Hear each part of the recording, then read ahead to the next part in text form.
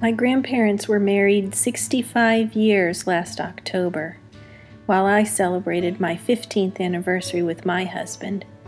Though 50 years separate our weddings, there is something that we share in common. How did you two meet? Who's that? You and Grana? I think in the Hell, po- I don't know. I think in the post office. I think one day I come to get the mail Lord, I don't remember and uh, even meeting her. I couldn't. Uh, I couldn't open our box, and you helped me open the box. And we didn't meet at the post office. We met online Yeah, when nobody met online. yeah. Everybody thought one of us was a serial killer or something. I'm not too sure. Where'd you go get married? We went to Clovis, New Mexico, Yeah. and the reason we did is because you had to get a blood test in Texas, and it took three days. Mhm. And you didn't have to have one in New Mexico. Me and Steve got r- married in Tennessee for the exact same reason. Oh, We were checking out on a Baptist preacher, yeah. and he was out of town, Oh, and we didn't know what we were going to do. And this guy said, I am a justice of the peace. I can marry you. I said, okay.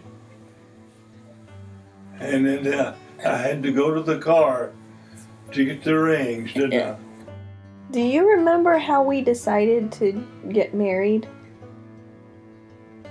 I was in one room and you were in another, and I thought about what I had to do the following week, I think. And I said, Hey, you want to go get married? I remember I called in sick from, it was a Monday, mm-hmm. and I called in sick from work. That's Mhm. right. And you never did that. Yeah, I still never do No, that. no, you don't. So we went up to Chattanooga because it's the city that's just right over the border from Georgia in Tennessee. hmm And we went to the courthouse, They already had their Christmas decorations up. a great big old Christmas tree hmm in the lobby because we got married on December 4th.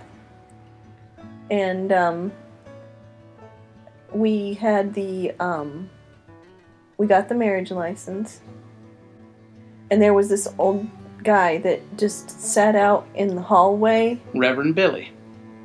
Reverend Billy was his. But yeah, um, and then we drove home. We, uh, We stopped at Shoney's. Shoney's. it was a very, very pretty day, and we stopped at Shoney's. Real classy. We were well classy, very, Yeah. very genteel Southern wedding that way. At least there were no shotguns. no. We wouldn't have had to gone far to find any in Chattanooga, that's for sure. no. And it was occur- occurred to me the other day that um, there was exactly 50 years between my grandparents' wedding and our wedding.